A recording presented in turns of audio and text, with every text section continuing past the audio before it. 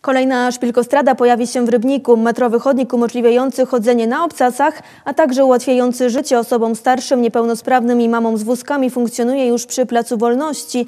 Teraz szpilkostradą będzie się można przedostać z jednego końca słynnego rybnickiego deptaka na drugi, ulicami Sobieskiego i Powstańców Śląskich.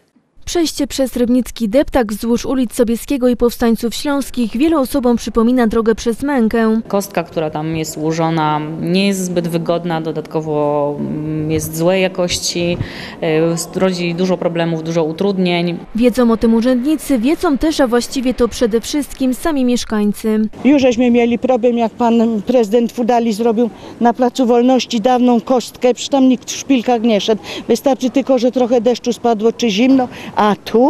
No przecież proszę spojrzeć, co metr, co pół metra, powyrywane, zniszczone. Komu to było potrzebne?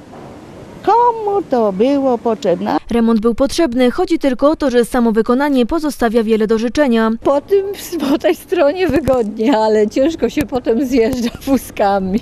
Bo na przeszkodzie stoi ta rynna, przez wielu nazywana po prostu rynsztokiem. No te na wodę czasami jak człowiek nie zwróci uwagi, to może się wywalić.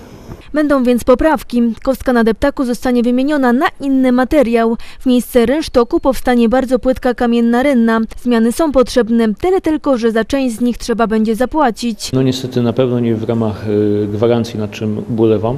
E, Powiem tak, że jest to pewna racjonalizacja e, poruszania się po tym obszarze z punktu widzenia e, mieszkańców. No, jest to bardzo, bardzo krytykowane i musimy po prostu coś z tym zrobić. Jest szansa na to, że pojawi się chodnik na wzór tego, który funkcjonuje już przy Placu Wolności, Najprawdopodobniej powstanie kolejna szpilkostrada. ale to dopiero jesienią.